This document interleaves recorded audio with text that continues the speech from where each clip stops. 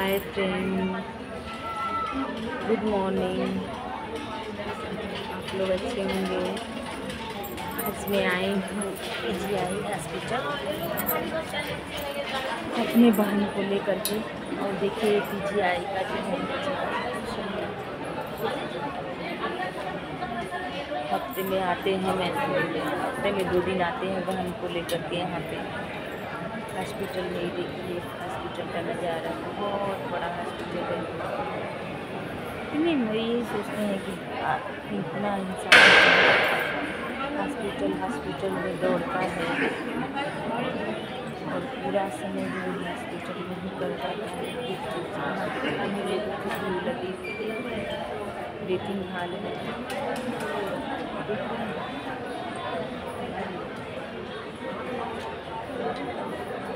सब लोग खाने में, खाना पीना, नाश्ता पानी पूरा कर रहे हैं।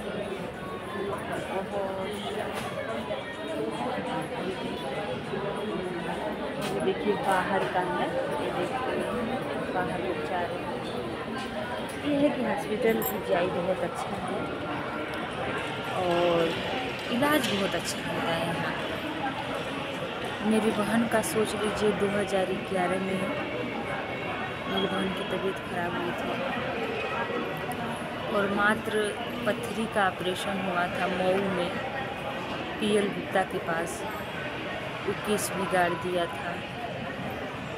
और ऑपरेशन हुआ और मेरी बहन की तबीयत बहुत ख़राब हो गई। इतना ख़राब हो गया कि किडनी लीवर ख़राब हो गया बहन का। और सोच लीजिए ग्यारह साल में, ग्यारह, दो हज़ार ग्यारह में तबीयत खराब हुई थी, फिर बहन को पी जी आई लाई गई और पी जी आई हॉस्पिटल में आई, तभी मेरी बहन बच भी पाई।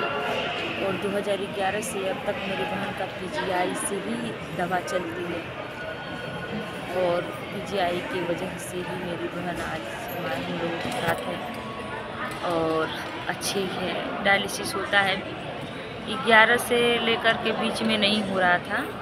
लेकिन हमको लग रहा है 2023 लास्ट से थोड़ी सी तबीयत खराब, गड़बड़ हो गई तो डायलिसिस हो रहा है। हफ़्ते में दो होता है। तो कम से कम मेरी बहन मेरे साथ है, परिवार के साथ है, एक बच्चा भी है। तो बस यही चाहिए ना और पीजीआई हॉस्पिटल जैसा था कि मेरी बहन बच भी गई। और हम लोगों के साथ थी अगर अगर हम लोग पीजीआई नहीं लेके आते तो शायद क्या होता। भगवान जाने। तो पीजीआई बहुत है, अगर किसी के, अगर किसी को कुछ भी हो तो हम तो यही चाहते हैं छोटा मोटा कुछ भी हो।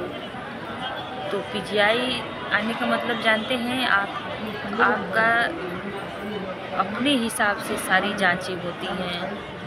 फिर पहले तो जब तक पूरी जांचें नहीं हो जाएँगी, तब तक आपको एक टैबलेट भी पीजीआई नहीं देता है। जब अपने हिसाब से सारे टैबलेट सारे जब जाँच करा ले, हो जाती है, पता रोग पकड़ते हैं कि क्या है। जब पता चल जाता है, तभी आपको एडमिट करेंगे एडमिट करने लायक होंगे तो एडमिट करेंगे, दवा देने लायक होंगे तो दवा देंगे, ऐसे होता है।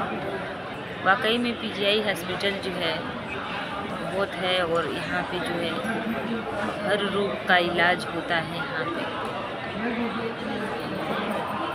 पीजीआई हॉस्पिटल जो है, मेरी बहन को बचा लिया। नहीं तो पीएल गुप्ता मऊ में है वो कितने लोगों की लाइफ बर्बाद कर चुका है।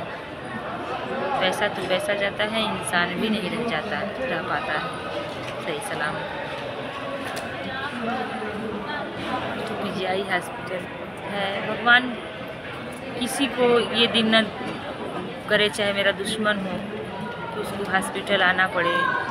छोटी मोटी तबीयत तो सबको होता रहता है, लेकिन अगर कोई बड़ा वो बीमारी हो तो भगवान ने मेरे दुश्मन को भी वो दिन न दिखाएँ कि बड़ी बीमारी से उसको वो और इस तरह से पीजीआई आना जाना हो बताइए रात में जो है, वहाँ पूरे दिन, रात जगते हैं, यहाँ दिन डायलिसिस से जग रहे हैं। मरीज़ के साथ साथ जो साथ आते हैं, उनका भी, वो भी सफ़र कर, करते ही हैं।